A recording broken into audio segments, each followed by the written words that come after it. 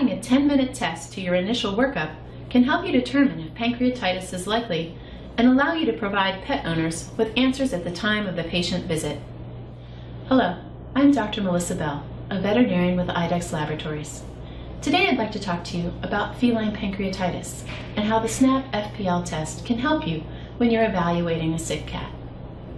Cats with pancreatitis typically present with non-specific signs of clinical illness, including things like lethargy, decreased appetite or anorexia, weight loss, dehydration, and less commonly with vomiting or abdominal pain.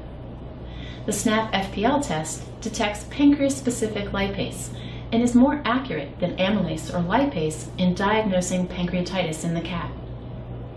Adding the SNAP FPL test to your initial workup on cats with these nonspecific GI signs can help you determine if pancreatic inflammation is an underlying component of your patient's illness. With a normal SNAP FPL result, you can rule out pancreatitis and move on with your diagnostic workup.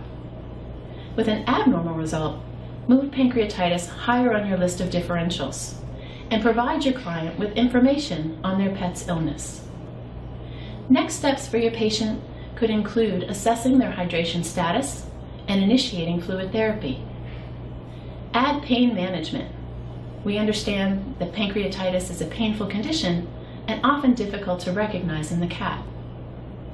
Consider adding nutritional support, as even small amounts of food provided through a nasoesophageal tube can help to prevent the secondary complications associated with anorexia.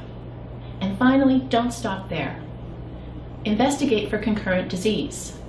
Pancreatitis, inflammatory bowel disease, and cholangiohepatitis often occur together, and this complex is referred to as triaditis.